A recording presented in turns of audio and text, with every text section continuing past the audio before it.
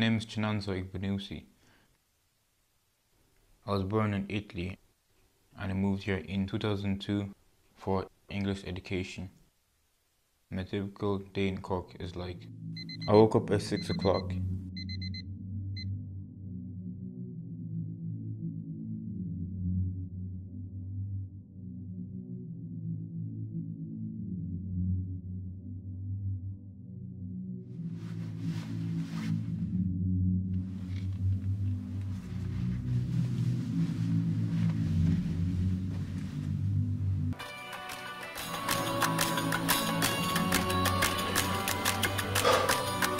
Then I do my choice, laundry, wash up, cooking, and finish in about two hours.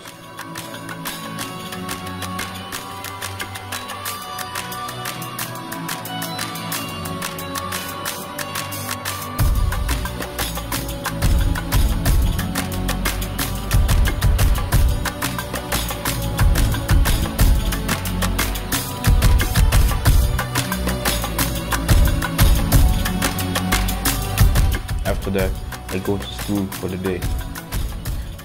Then I come back around 4, 4 o'clock. And 8 o'clock to 9, we pray. And after prayer, I go to bed.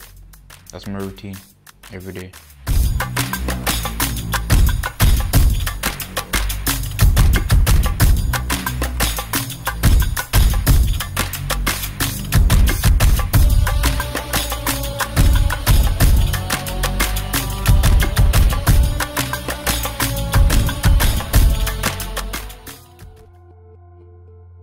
And my parents treat me differently to my siblings. Um, yeah, they did. Because since they since they do, they go out, have fun.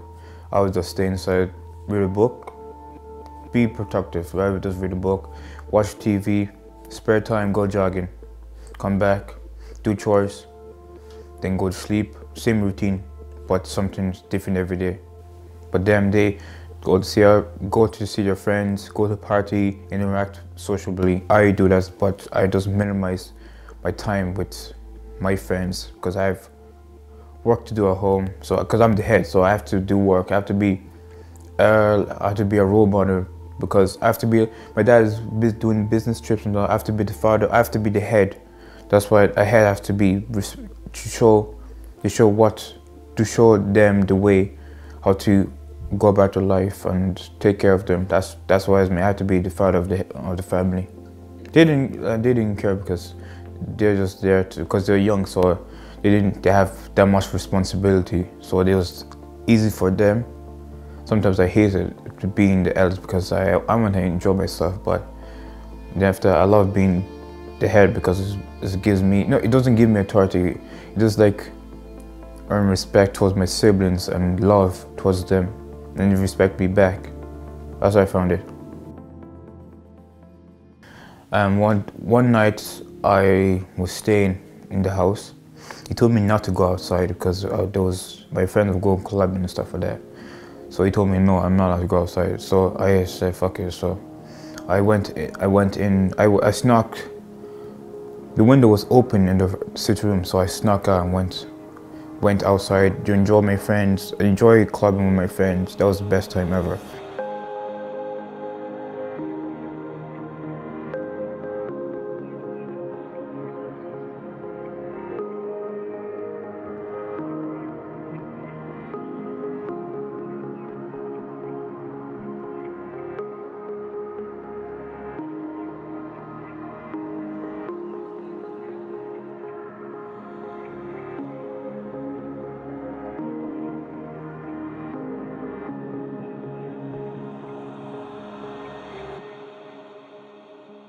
As I got back, I had to do pimping as punishment for two hours.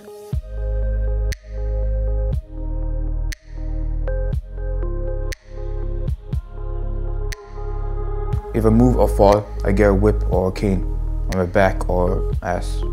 I was pleading with my dad, please can I get up? But he said, no, this is what you deserve. I have, I didn't, ever since that, I've never wanted to do it again.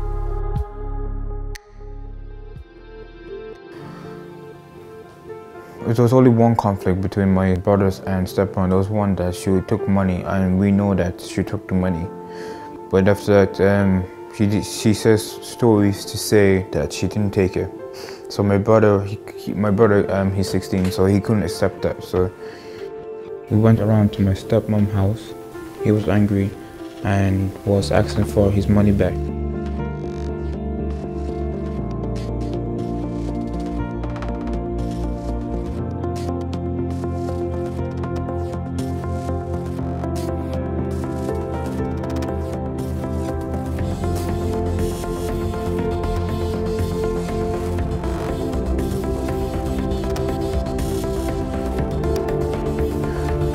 She said, no, which money do I owe you? So she got angry. She called my brother a liar and threw me out of the house.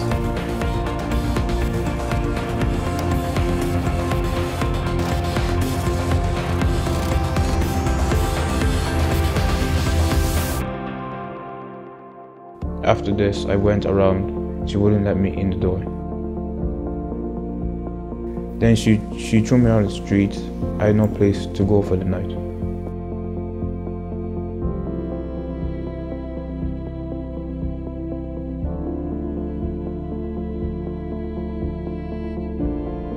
I ended up going to my friend and getting money from them.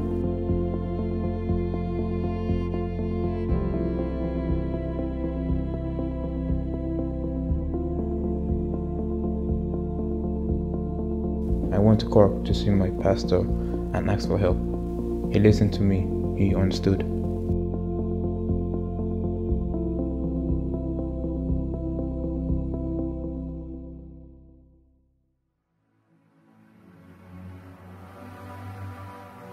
I like walking through the mountains, seeing sheep climbing the mountains, the scenery on a good day.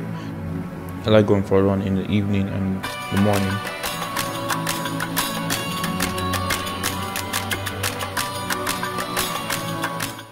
I love different cultures, but I love the Irish culture. I want to learn about the people, the language, and the heritage.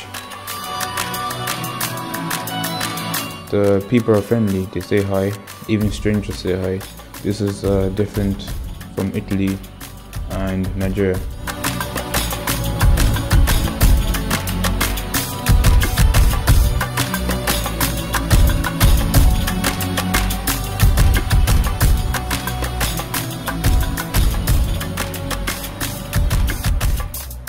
Thing that African parents say, you're not Irish, you just have an Irish passport, but I am and feel inside I am Irish.